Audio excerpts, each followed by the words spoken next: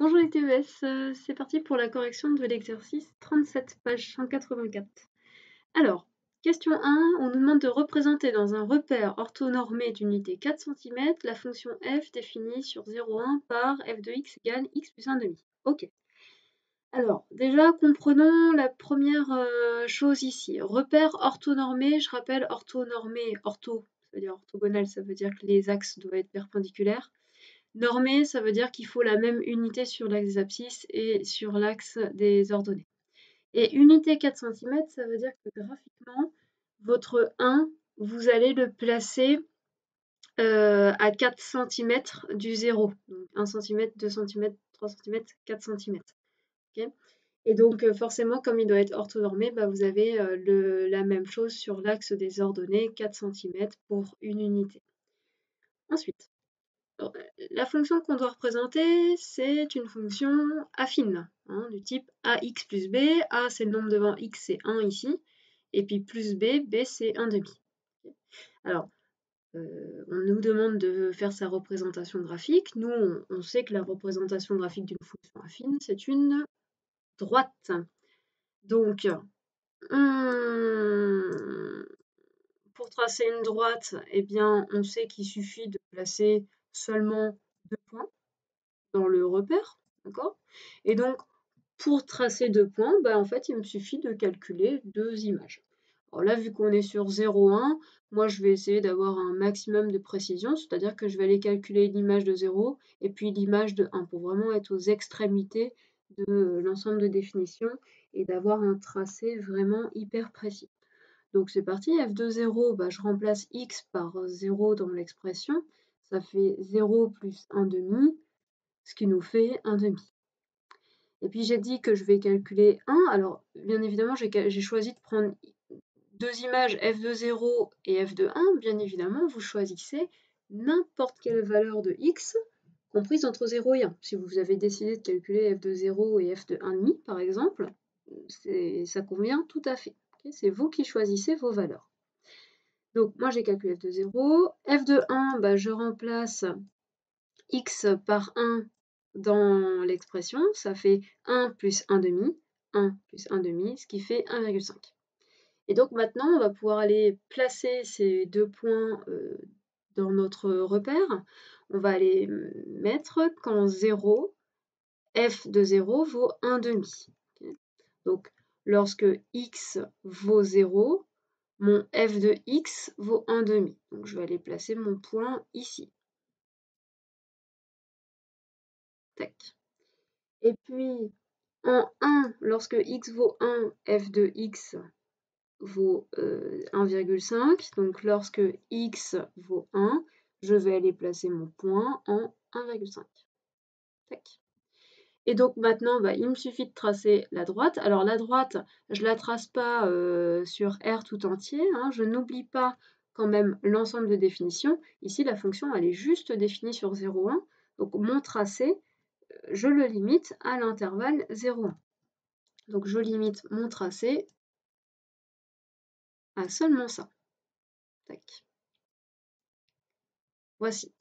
Et voici la représentation graphique de la fonction euh, f de x sur l'intervalle 0, 1. Euh, deuxième question. Montrer que f est une fonction de densité de probabilité sur 0. pour montrer que c'est une fonction de densité, on l'a jusque-là fait à l'oral, là maintenant il va falloir le démontrer proprement. Il faut montrer trois choses. 1. Qu'elle est continue. 2. Qu'elle est positive. 3. Que l'air total sous la courbe fait 1. Alors, Étape 1, la continuité.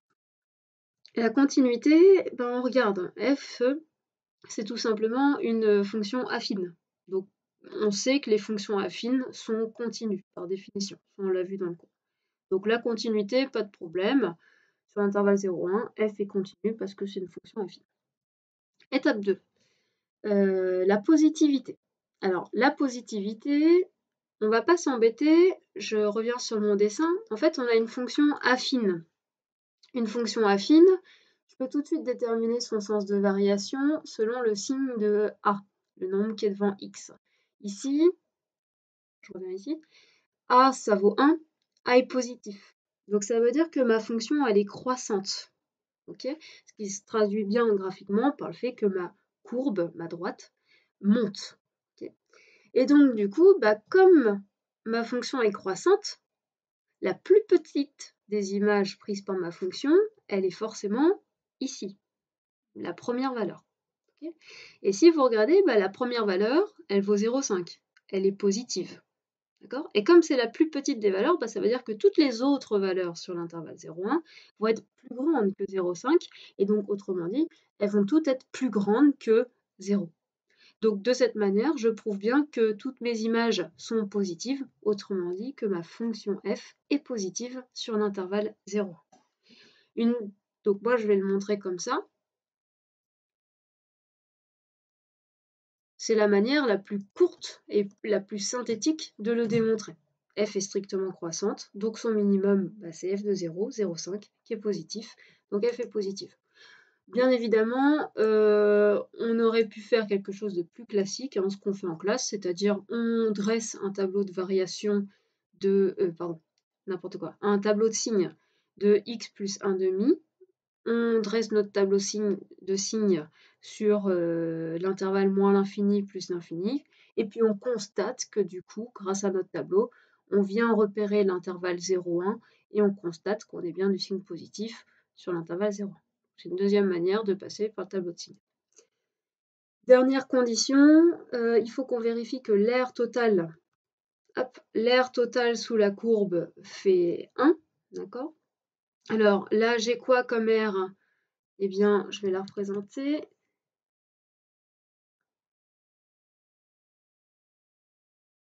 un flux de job. Je ne vais pas avoir de fonction qui est définie. Donc, je ne vais pas pouvoir la représenter. Euh, tac, j'enlève. Donc, on va aller calculer l'air ici sous ma courbe. Je reconnais l'air d'un d'un trapèze. Ok? Donc, je rappelle, l'air d'un trapèze, c'est petite base plus grande base fois la hauteur divisée par 2. Sachant que les bases, je rappelle, c'est les côtés qui sont parallèles dans votre trapèze. Donc ici, la petite base, elle fait 0,5 plus la grande base 1,5 fois la hauteur qui fait 1. D'accord? Et on va diviser le tout par 2. Donc on y va. L'air sous sa courbe vaut, c'est l'air d'un trapèze. Donc petite base, on a dit 0,5 plus grande base, on a dit 1,5, fois la hauteur, fois la hauteur qui vaut 1, et le tout, on a dit divisé par 2.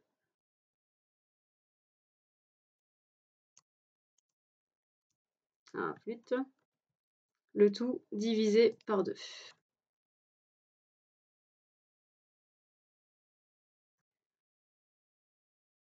c'est toujours un peu fastidieux.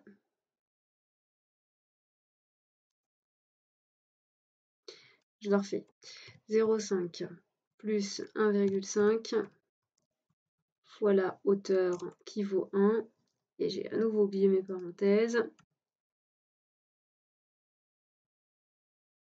Voici. Donc, si on calcule, ça nous fait 0,5 plus 1,5, ça fait 2. Donc ça nous fait 2 fois 1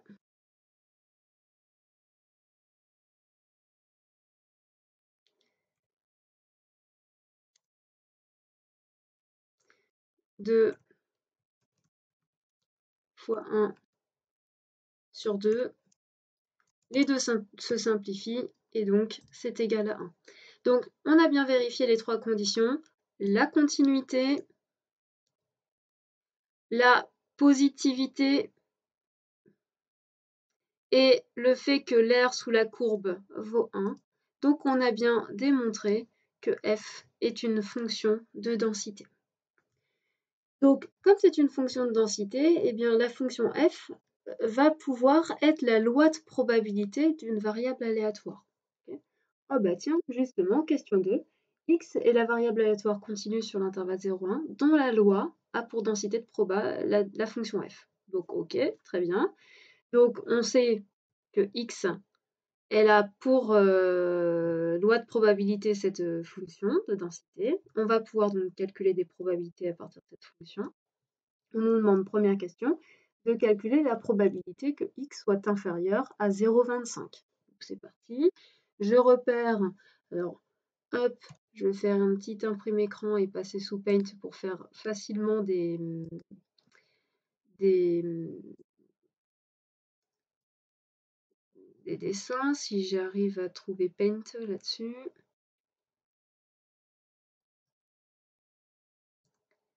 Alors, Paint, Paint, Paint. Hop. voici. Tac. Alors, on me demande la probabilité que x soit inférieur à 0,25. Hop, je suis sur mon graphique. Je repère 0,25. 0,25, c'est ici. Donc la probabilité que x soit inférieur à 0,25, ça va être l'air sous ma fonction de densité sur l'intervalle 0,25. Ça va être cet air-là. On reconnaît l'air d'un trapèze à nouveau. Donc c'est parti. Petite base plus grande base fois la hauteur divisée par 2. Petite base, ça fait 0,5. La grande base, elle fait 0,75. Euh, euh, fois la hauteur qui fait 0,25 divisé par 2. Donc on a dit petite base. Petite base, c'est que je ne me trompe pas, 0,5 plus la grande base 0,75 fois la hauteur qui fait 0,25, le tout divisé par 2. Super. Donc, ce qui nous fait 0,5 plus 0,75, ça nous fait 1,25 fois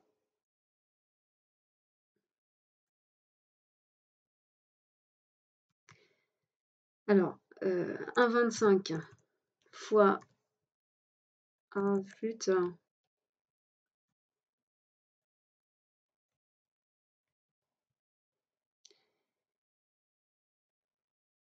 1,25 fois, je vais y arriver, 0,25, le tout divisé par 2. D'accord? Et donc, si on calcule ça, eh bien, ça nous fait euh, un peu, on tape ça brièvement à la calculatrice, mathfrac, hop, ça nous fait 5 sur 32 en fraction, et puis ça fait approximativement, si on arrondit à 10 moins 3, 0,156. Question suivante. Calculer la probabilité que x soit supérieur à 1 tiers. Donc c'est parti. On va aller regarder sur, notre dessin. Être supérieur à 1 tiers, donc là il faut euh, scinder votre euh, intervalle en, votre intervalle 0,1 en trois parties pour euh, visualiser un tiers. Ça va être à peu près par là. Et donc, probabilité que x soit supérieur à 1 tiers, bah, ça va être l'air sous ma courbe pour tout ce qui est à droite de 1 tiers, puisque être supérieur à 1 tiers, eh bien, c'est ça. Être, supérieur à 1 tiers, pardon, c'est être à droite de 1 tiers. Donc là, à nouveau, on retrouve euh, l'air d'un trapèze. Donc à nouveau, petite base plus grande base fois la hauteur divisée par 2. La petite base. Alors la petite base, qu'est-ce qu'elle vaut? La petite base, n'oubliez pas qu'on est en 1 tiers ici. Donc ici, on va être en f de 1 tiers, en l'image de 1 tiers par ma fonction f. D'accord? L'image de 1 tiers, c'est quoi? Bah, C'est 1 tiers plus 1 demi. Ce qui nous fait 1 tiers plus 1 demi, ça nous fait 5 sixièmes. Donc la petite base, c'est 5 sixièmes. Plus la grande base, la grande base, elle fait 1,5 fois la hauteur. La hauteur, sachant qu'on est en 1 tiers ici, eh bien j'ai un écart ici de 2 tiers. Et le tout divisé par 2. Ce qui est donc égal, alors là on peut prendre la calculatrice pour euh, pas s'enquiquiner à faire euh, les calculs. 5 euh, sixièmes plus 1,5 fois 2 tiers fois 2 tiers, le tout divisé par 2, un petit coup de mat frac, ça fait 7 neuvièmes. D'accord? Et si vous voulez donner une valeur approchée, ça fait approximativement 0,778. Euh, Prenez le réflexe lorsque vous n'avez aucune consigne d'arrondir vos probabilités à 10-3 près. Enfin, calculer la probabilité que x euh, prenne ses valeurs entre 0,1 et 0,7, eh bien, hop, ça va être quoi? Ça va être euh, l'air sous ma fonction de densité sur l'intervalle 0,1, 0,7. Ok, donc si je représente ah, flûte. Si je représente 0,1 ici. Et puis 0,7 euh, euh, par là,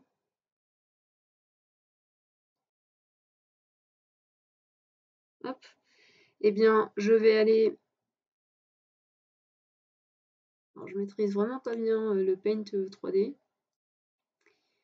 Bon, je vais aller calculer l'air ma fonction de densité sur cet intervalle. Euh, il faut donc ça à nouveau, hein, je reconnais l'air d'un trapèze. Donc l'air du trapèze, eh bien, c'est à nouveau petite base plus grande base divisée par 2. Et donc, ici, il faut repérer, sachant qu'on est en 0,1, eh bien ici, on va être en l'image de 0,1 par la fonction f. D'accord? Et l'image de 0,1, bah, c'est 0,1 plus 1 demi, donc 0,1 plus 0,5, ça fait 0,6. Et ici, en 0,7, eh bien, on va être en, ici, l'image de 0,7 par la fonction f, c'est-à-dire 0,7 plus 0,5, ce qui va nous faire 1,2. Donc l'aire de ce trapèze va être égal à 0,6 plus 1,2 fois la hauteur. Ici, il y a un écart de 0,6. Vous pouvez le retrouver par le calcul en faisant 0,7 moins 0,1. Donc fois 0,6 divisé par 2. Donc ça nous fait, on a dit 0, 0,6 euh, plus 1,2 fois la hauteur qui faisait 0,6, le tout divisé par 2. Le tout divisé par 2, il ne me l'a pas pris.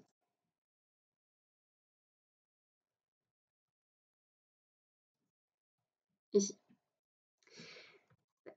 Et donc, ce qui nous fait, euh, on peut taper ça sur la calculatrice, pareil, pour pas s'embêter. Alors, n'oubliez pas les parenthèses autour de 0,6.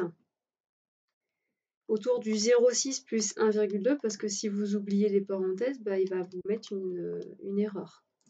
Donc, divisé par 2, ça nous fait exactement 0,54.